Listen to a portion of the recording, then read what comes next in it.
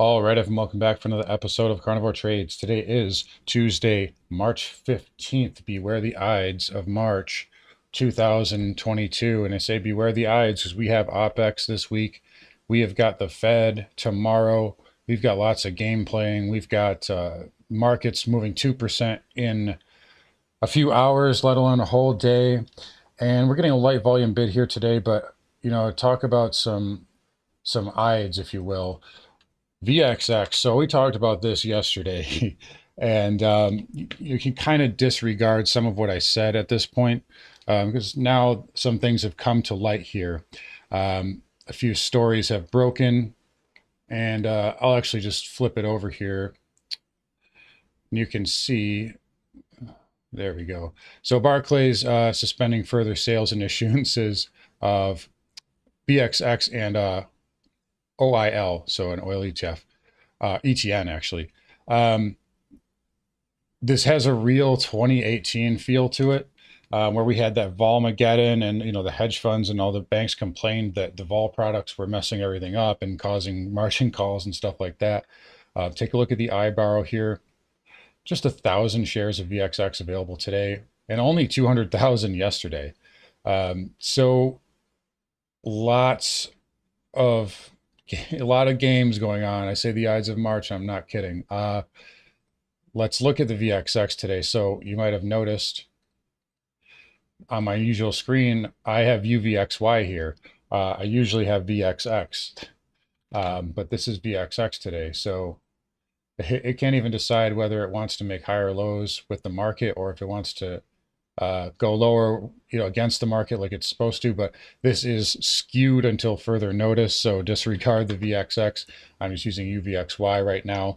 And I do my work on the actual VIX, but I like to have the uh, ETN so that I can see the volume.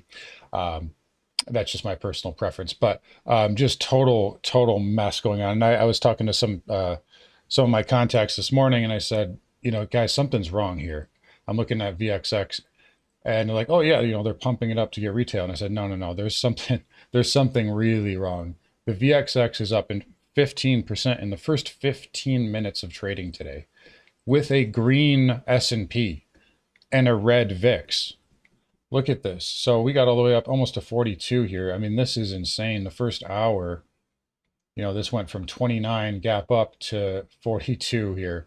Um, so lots of, lots of, uh, I don't even know what you call it. Uh, lots of word that starts with an F and ends rhymes with tomfoolery uh, going on. But anyways, uh, crazy, crazy moves here, and the market really just kind of shrugged it off here. So um, you know, the market was the VIX, VXX kind of decoupled from itself essentially, so it didn't seem to affect the market too much. But um, you know, you, you can't. Uh, you got to look at this and and, and not think that there's something afoot here.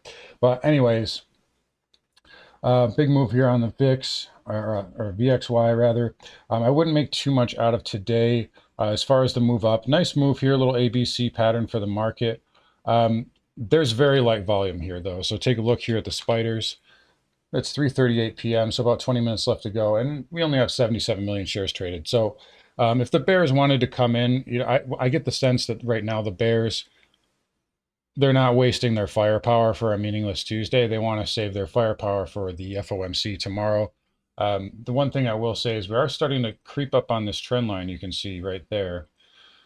Um, and this does look a little potentially, given the light volume and the kind of uncontested rally, this does look like, you know, if we gap up tomorrow, I could definitely see a bull trap being in the cards. Um, you know, getting about, I mean, they did it this time, they did it this time as well.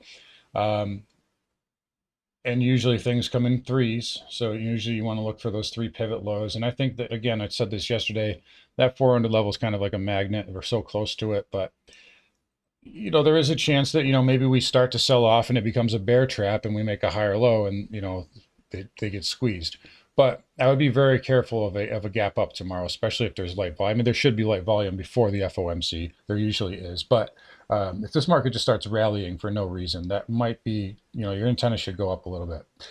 All right. Let's look at a few sectors and stocks. So uh, IWM here, up 1.4%, still inside of yesterday's candle. So lagging a little bit here. Um, not a huge move, kind of a quiet day for the Russell Dow into that 20 day moving average. So interesting to see if they can close it above that. This is a minor moving average at this point. You're parallel to it, so it's not really a, a huge deal, but it could be a psychological level if they close it above there uh, in the near term. Um, big star of the day, triple Qs up 3% here.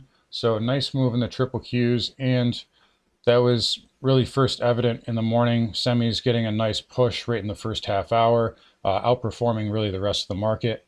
And, you know, when you see the semiconductors do well, usually that bodes well for the market and for tech. You can see NVIDIA in the corner of my screen. NVIDIA there up 7, over 7%. AMD, uh, nice move today, up under 7%. Take a look at Micron. This might actually have bottomed here. I have this level on here from quite a while ago. 100 week moving average. Yeah, this could be a little bottom on, on, on Micron if we can get follow through tomorrow.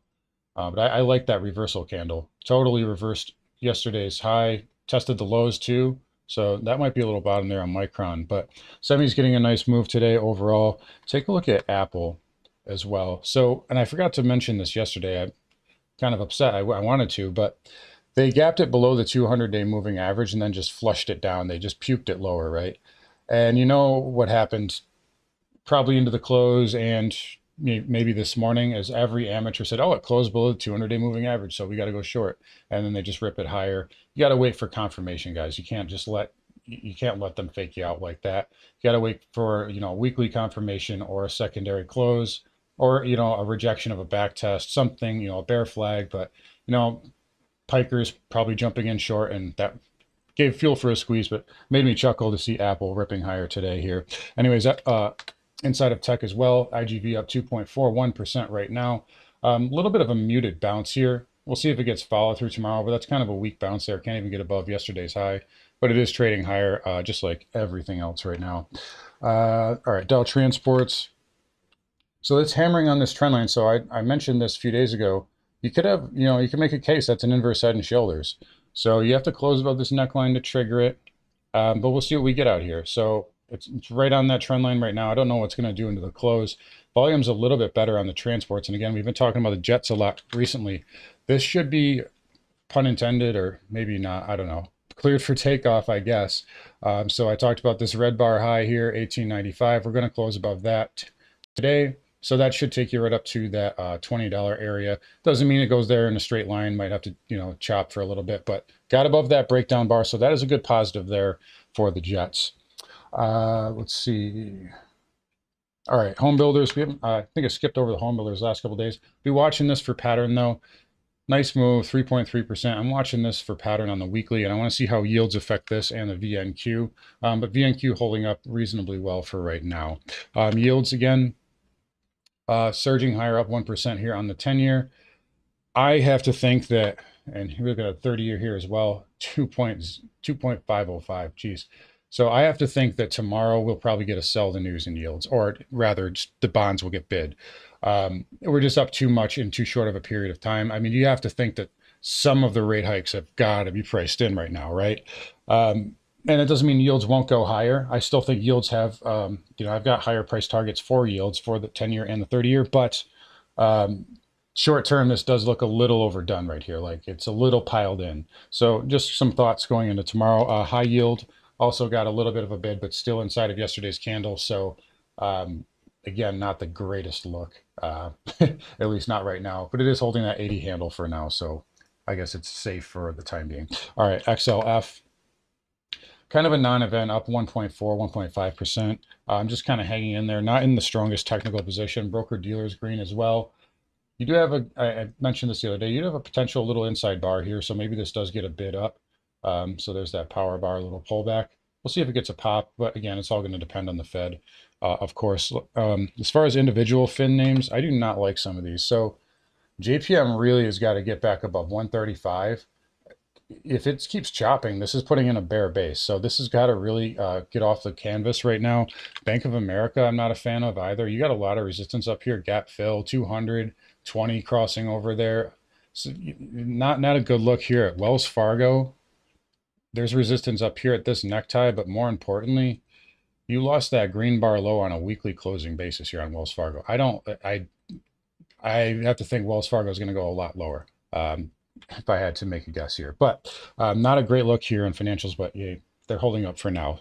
Um, energy pulling back a little bit, hitting that 20 moving average on the XLE. You also have this uh, consolidation area. So that's going to be support. It might get a bounce here. It probably does actually. Same thing on the XOP. You know, these things are pulling back a little bit, but none of them have broken trend. OIH, good good level there on OIH. Gap fill, 20 moving average extended. Not a bad spot there for a bounce.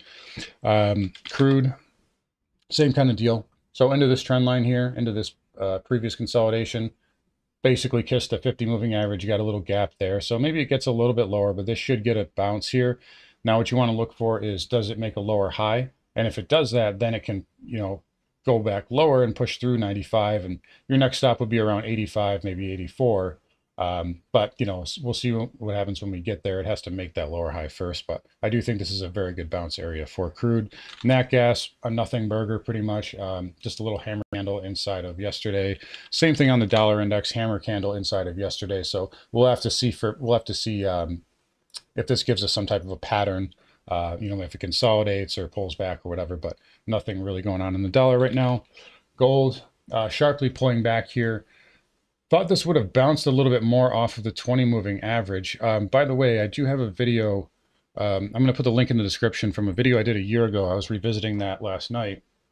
And I talked about it over the weekend, but I'm going to do, uh, and I might even finish it up tonight, but I'm going to do a new video kind of updating long-term uh, price targets and kind of just cyclical forecasts for gold um, based on some of the stuff I've seen this year. And um, but yeah, I'll put that. You got to watch the uh, the first video first. Um, but yeah, I'll put that in the, in the description there. But anyways, gold pulling back here, it's trying to hold the 20 moving average. It's not doing a very good job. GDX is doing a much better job though. Gapped right down into that 20 moving average. I tried getting filled on some call options here. The spreads were just too wide. And, uh, you know, look, it just kind of ran away from me, but that would have been a really massive gain which is going to probably bug me for a week or two. But nice pop there on GDX off the 20 moving average. Again, it's kind of looking like oil, right? So oil, XLE, they're both fear trades, they're both geopolitical trades, gold, all just kind of pulling back after going parabolic. Typically, you get a bounce off of the first uh, first retrace to uh, support. You also have this area here on gold. So that's, you know, probably going to hold up, at least in the near term. You probably get a bounce there again. Then you want to look for potentially a lower high. Silver um, coming back in as well, but getting a bit off that 20 moving average again. Same kind of look here on the chart. It's holding that 20 MA for now. Nothing terrible there.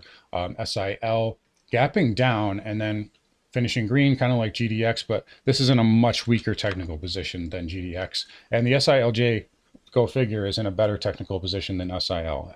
Anyways, platinum selling off very sharply here.